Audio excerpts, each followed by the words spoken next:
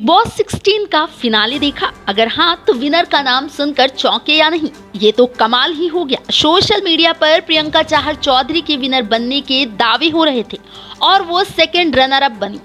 Surprising ये था कि टॉप फाइव तक पहुँचने की उम्मीद नहीं थी जिसे। वो खिलाड़ी ट्रॉफी लेकर चला गया। बस्ती के हस्ती एमसी स्टैन ने टीवी की बहुओं हीरो को पछाड़ा, जिसे फैंस होस्ट सलमान खान, उनके दोस्त और पेरेंट्स तक ने विनर माना। टीवी को वो फेवरेट बहू देश का पॉपुलर रियलिटी शो जीतने से चूक गई।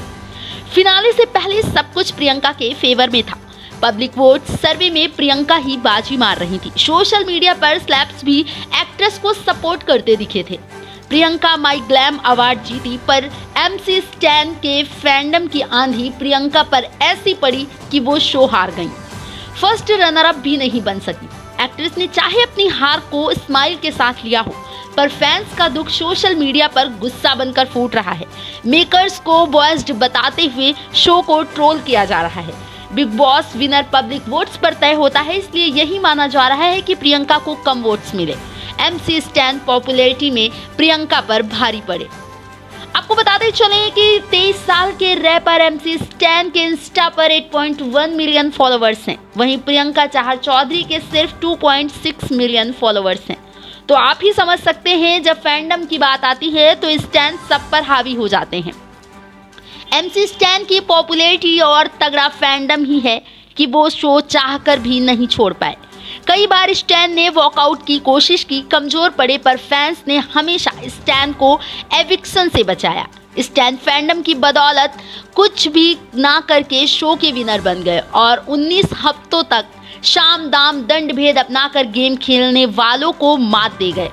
स्टैन की जीत के साथ बिग बॉस के इतिहास में पहली बार एक ऐसी चीज़ हुई, जो इससे पहले कभी नहीं देखी गई। वो है सलमान खान का प्रियंका को रियल विनर बताना।